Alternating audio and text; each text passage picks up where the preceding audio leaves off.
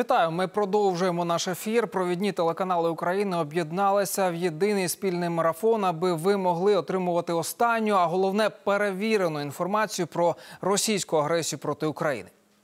Путін шантажує Україну та світ ядерною зброєю. Диктатор віддав наказ міністру оборони та начальнику генштабу перевести відповідні війська в особливий режим несення бойового чергування.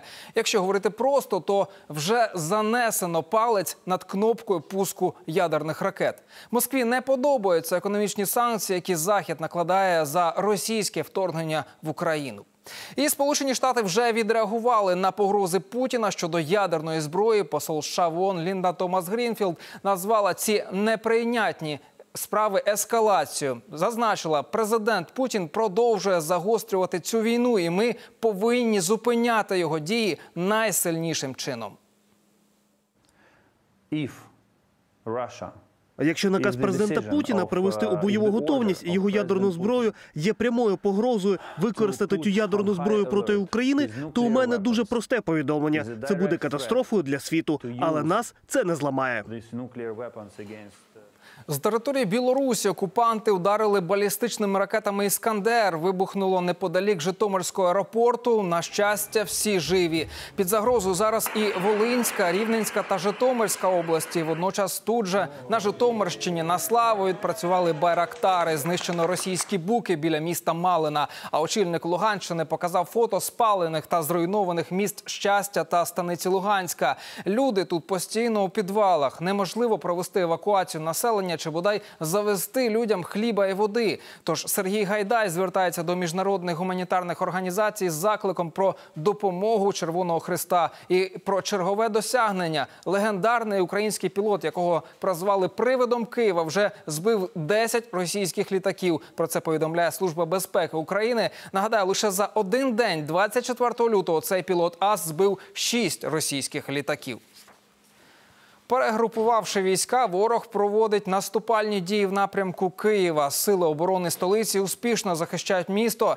Мер Віталій Кличко повідомив, що російських військ на вулицях Києва немає, і ситуацію контролюють наші збройні сили та тероборона.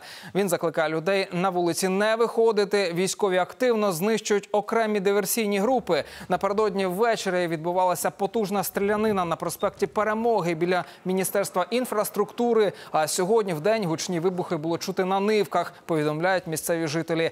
Повітряні сили збили крилату ракету, випущену по Києву із території Білорусі. Це інформація від головнокомандувача ЗСУ Валерія Залужного. Уламок ракети спричинив пожежу у дворі на житловому масиві Троєщина. Згоріло кілька припаркованих там автомобілів. За інформацією мера Ірпеня, російські танки увійшли до міста з боку Бучі, але атаку відбили. Ірпінь під повним контролем наших збройних сил. У Бучі снаряд влучив у багатоповерхівку. Обійшлося без жертв. Уночі окупанти поцілили ракетами на територію нафтобази під Васильковим. Загорілося в межах земляного загородження, тому пожежа не розповсюдилася. Але людей просять не відчиняти вікна. Працівники Укрзалізниці встигли вивезти з нафтобази 23 цистерни пального. Росія здійснює геноцид цивільного населення для політичних цілей Путіна і Кремля. Внаслідок удару російськими крилатими ракетами та системами залпового вогню по всій Україні гинуть і страждають цивільні діти, жінки, старенькі і немічні. І за ці злочини Путіну та його посіпакам доведеться відповісти. Україна направила позов проти Росії до міжнародного суду ООН в Газі.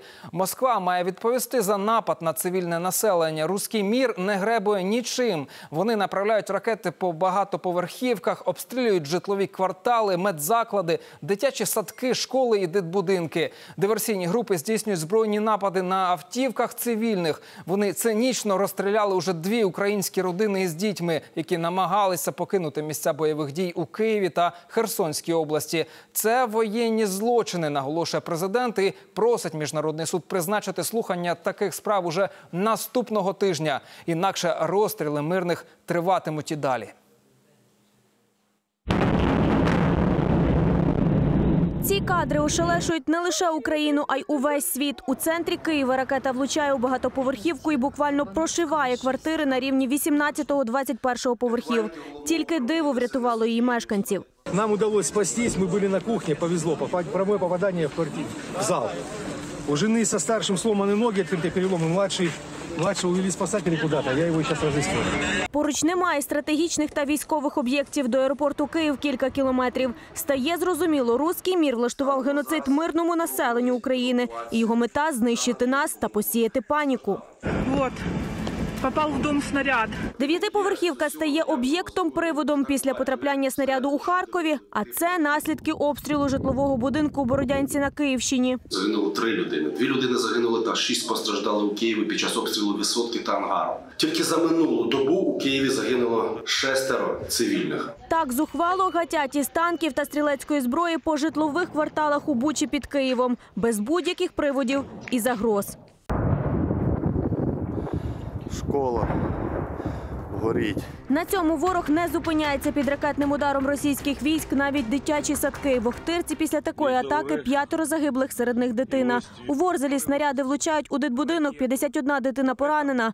Так діяли хіба що гітлерівці. Із градів путінська армія накриває садки і лікарні Чернігова.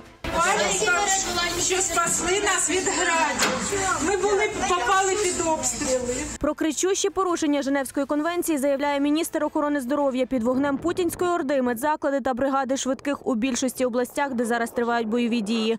Ось під Херсоном підбито машину швидкої. Везли раненого, подбили. Жорстокість окупантів зашкалює. Вони вбивають українців цілими родинами. У новій каховці під час обстрілу автомобіля, який тікав з міста, загинуло п'ятеро людей із однієї сім'ї. Схожа трагедія у столиці. Диверсійна група розстріляла багатодітну родину. Батьки та одна їхня дитина померли ще двоє у важкому стані.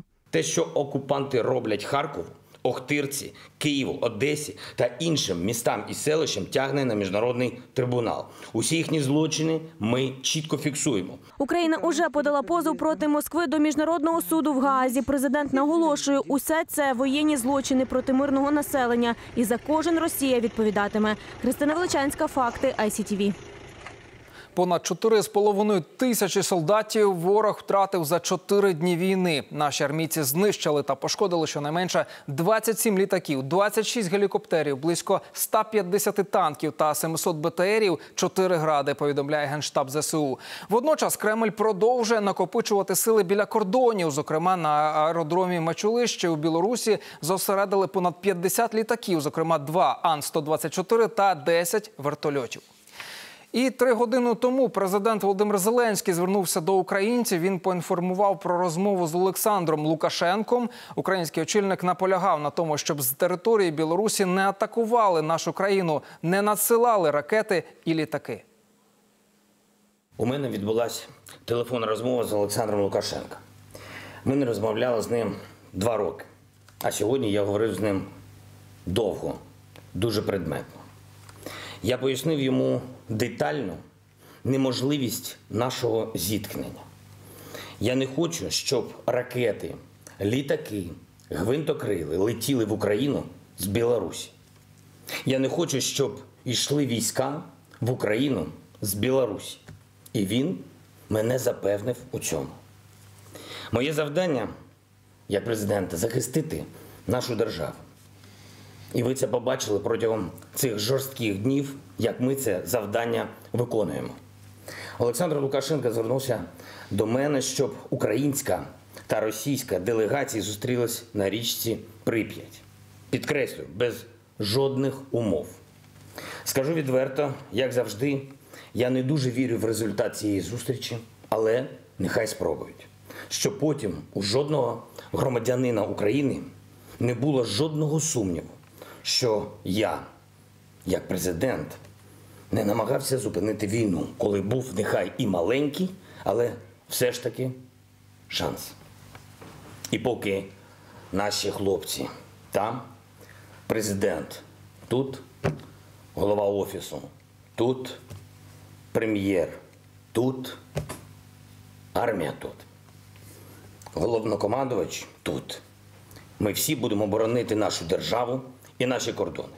Ми з вами маємо діяти прагматично, щоб досягти нашої мети. А наша мета це наша територіальна цілісність. Нашу позицію ви побачили на 100%. це безумовний захист національної державності. Тепер, що стосується нашої мотивації, очевидно, що наші військові воюють не за гроші, а за сьогодні, за завтра.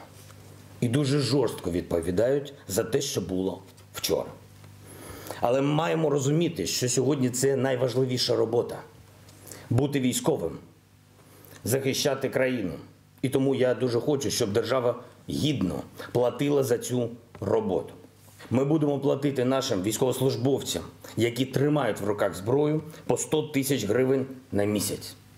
Не для того, щоб нам казали дякую, а для того, щоб вони знали, що країна їм точно вдячна. І так буде до тих пір, поки не закінчиться ця війна. І останнє. Вчора ми втратили, на жаль, нашу мрію. Але стару мрію, а нову ми зараз будуємо. Слава Україні! Отже, українська делегація готова зустрітися з російською без попередніх умов на українсько-білоруському кордоні в районі річки Прип'ять. Склад нашої делегації поки не оприлюднили. Зрозуміло лише, що це буде не найвищий рівень. Тим часом Україна готова до переговорів будь-якій нейтральній державі і без попередніх умов з боку Росії, наголошує українська влада. Росіяни пропонують, щоб перемовини проходили на території Білорусі, а ще мають нахабство вимагати, щоб перед цим українські вояки склали зброю. Їм підпіс... підспівує білоруський президент Олександр Лукашенко, який погрожує розпочати власну спецоперацію проти України на додачу до російського вторгнення. І це після того, як він визнав, що з території Білорусі стріляють ракетами по Україні. Президент України Володимир Зеленський відповів: ми хочемо миру, але не будемо говорити на майданчику, обраному російською владою, і не будемо говорити на умовах загарбника. Говорив російською, щоб росіяни та білоруси правильно все зрозуміли. Площадкой могут быть другие города для встречи. Конечно же, мы хотим мира. Мы хотим встречаться, мы хотим окончания войны. Варшава, Братислава, Будапешт, Стамбул, Баку. Это все мы предложили российской стороне. Да и любой другой город нам подходит. В стране, с территории которой не летят ракеты. Президенти України Леонід Кравчук, Леонід Кучма та Віктор Ющенко оприлюднили спільне звернення до українського народу. Українські народи, звертаємося до всіх українців світу, тих, хто від самого початку збройної агресії Росії зі зброєю в руках б'ється за кожне наше місто, кожне село, кожну вулицю, кожен будинок. Тих, хто своєю відвагою та любов'ю до України згуртував весь світ навколо нашої держави, тих, хто збирає допомогу для армії, тих, хто голіруч зупиняє російські танки та змушує окупантів здаватися в полон. За ці дні, сповнені героїзму та болю, ви вщент знищили віковий міф про те, так яка велика російська армія. Усі ми разом переможемо. Ми вистоїмо. Росія заплатить за свої злочини. Слава Україні! Героям слава! А заступниця голови Верховної Ради України Олена Кондратюк звернулася до політикинь світу, до всіх жінок-депутаток і тих, хто очолює національні парламенти з проханням допомогти стримати широкомасштабну агресію проти України Російської Федерації, збройні сили якої вбивають наших громадян, руйнують наші домівки та інфраструктуру.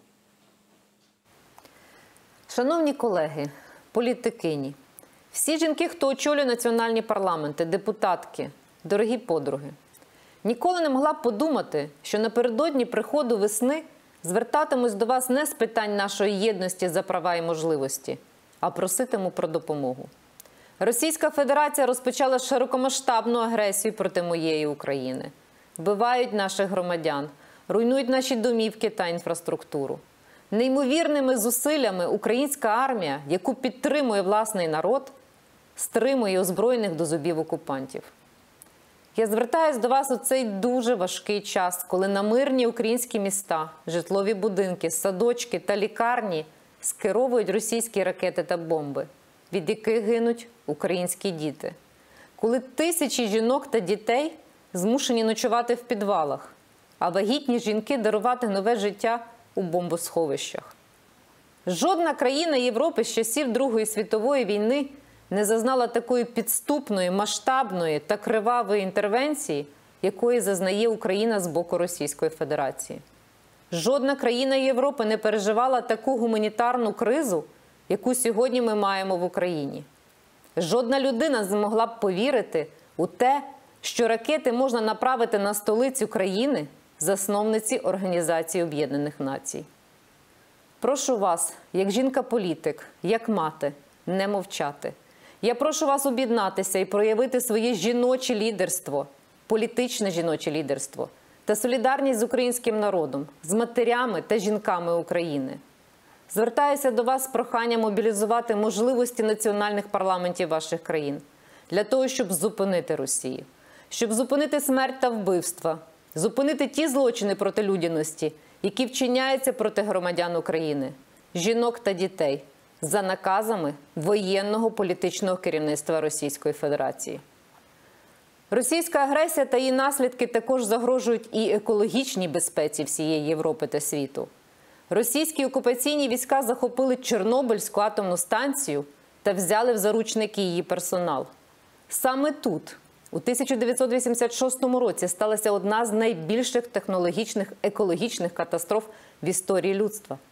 Наслідки радіоактивного забруднення відчули на собі мільйони мешканців багатьох країн Європи: України, Білорусі, Росії, Литви, Латвії, Польщі, Норвегії, Австрії, Великої Британії, Німеччини, Нідерландів, Бельгії та Швеції.